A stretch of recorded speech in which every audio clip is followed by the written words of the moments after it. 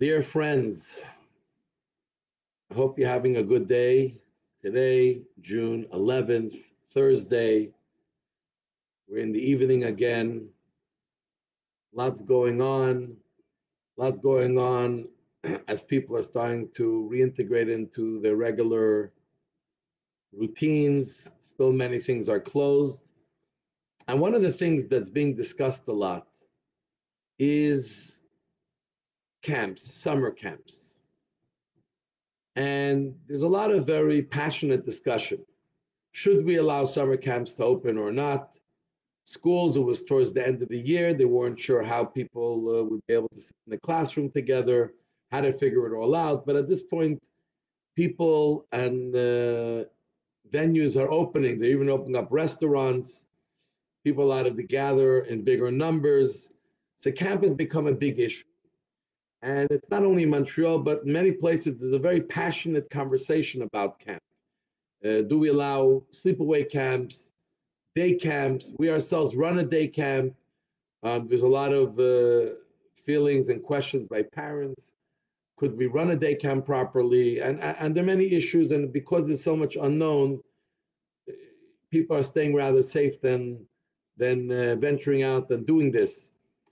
But when we talk about camps, why is there so much passion? And I think this is uh, something that really tells us what camp is all about.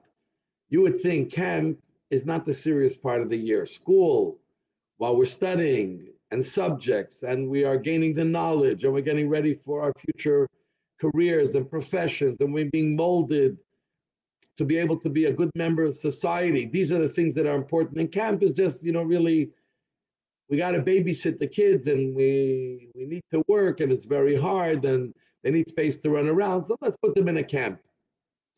But really, that's not the case. And the Lubavitcher Rebbe had a vision many years ago, in a time when camps were not common, in the early 50s. And he pushed that they should open up in the Catskill Mountains there in New York a summer camp for boys and a summer camp for girls. And they bought grounds and it became an incredible success. And the success wasn't just that kids had where to run around.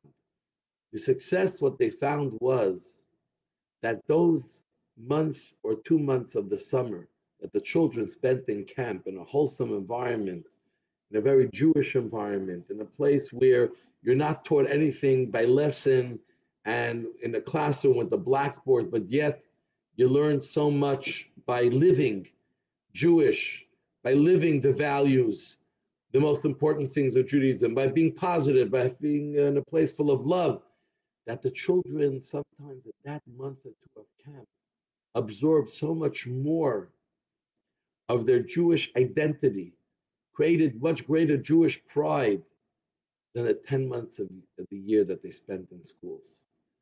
And for many children, camp was their turning point where they became proud, strong, committed Jewish people. And I hear that from people who have been to all different types of Jewish camps on the spectrum, that camping does something to you.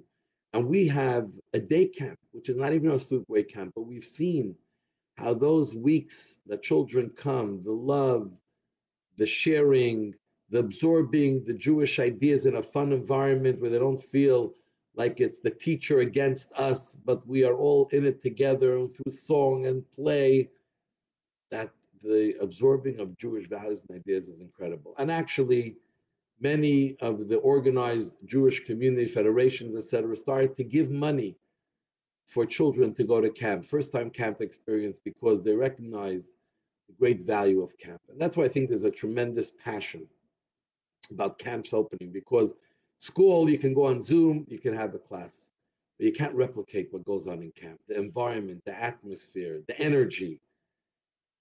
And to a certain extent, while we're home, we're all running our own little camps. We are in one place. We have to go through the day together. We should think what works in camp that should make us work at home as well. In camp, there's a, a an incredible environment and energy that's non pressured it's not about lesson and subjects. It's about living. It's about getting fully involved. It's about getting involved through a sport. When you eat, there's always a spirit of camp going on. Our home should have that type of a feeling.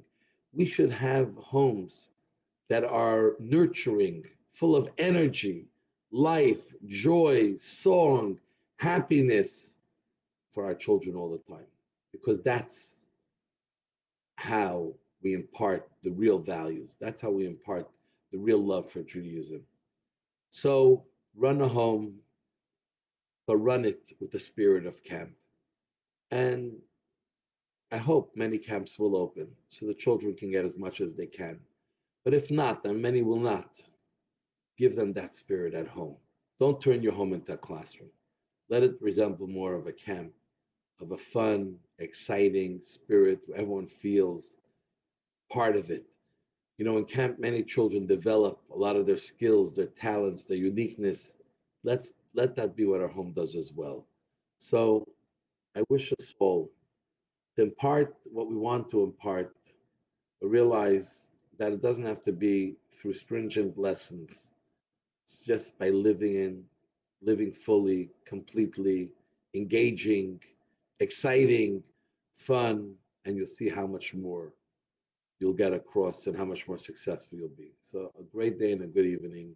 All the best.